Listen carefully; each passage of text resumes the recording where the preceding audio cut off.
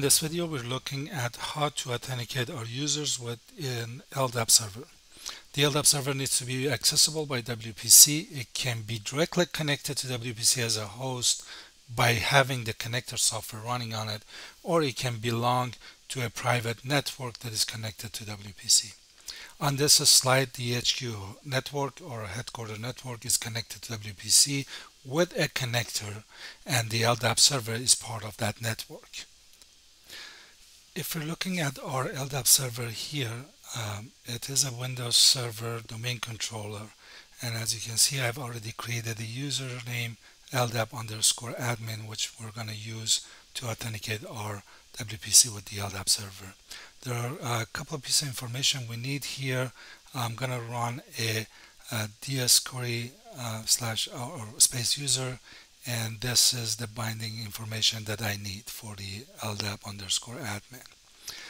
Um, we're going to copy this right now so we can use it later. And then uh, the next piece of information I need I need the private IP address of the server.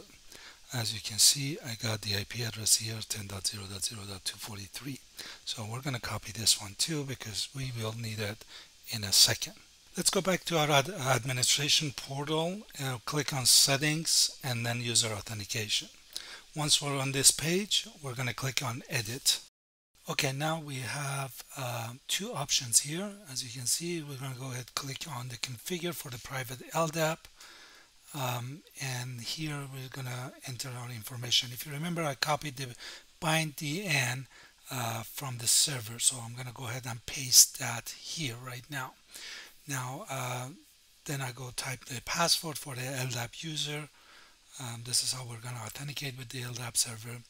For the uh, base DN is basically everything after the username. Normally that's what it is. So I'm going to copy that part from here and uh, go ahead and paste it here. Now, username attribute in my uh, environment is SAM account name, so I'm going to just copy and paste it here. And then the user group attribute is member of. So let's go ahead and paste that here. Now for the email attribute, first name attribute and last name, those are optionals. I don't have anything here right now. I'm not going to add anything. Let's go ahead and put LDAP server information. If you remember, I copied the uh, private IP address for the server, so which was 10.0.0 uh, 243. So let's go ahead and put that here.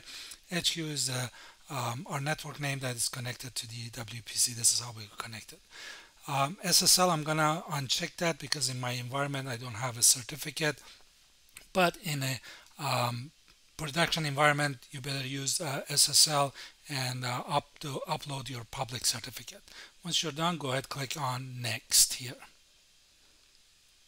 And as you can see, the test LDAP server configuration was successful and we are connected. Go ahead click on OK. In this page, you have the option of uh, turning on the user group sync from LDAP. Um, by doing this, basically, we're going to allow to automatically assign users from LDAP to Cloud User Group when that user successfully authenticate. Uh, we're going to look at this in more details in the future videos. But if you turn it on, then you have an option of choosing the group down here. In this environment, we have only one group default. And then uh, if there is any other rules, you can add those rules here. Again, as I said, we're going to look at that in the future videos. Once you're done, you go ahead and click on Save and Enable LDAP Authentication. Our LDAP is enabled here. Now let's go ahead and test this. Go back to the server and if you look at the Active Directory, I have a user here with the username Jordan. We're going to use Jordan to test. I'm going to bring up my Connect app um, here we go. And then click on plus sign type the address and then click next. Um, username Jordan. I'm going to type that Jordan. And then the password. And then click on sign in.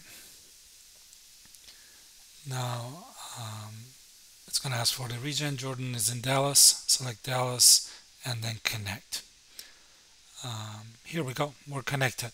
Now if you head out to users page in administration portal you're gonna see that Jordan was added to the users here. Uh, here we go Jordan and the authentication source uh, it shows as an LDAP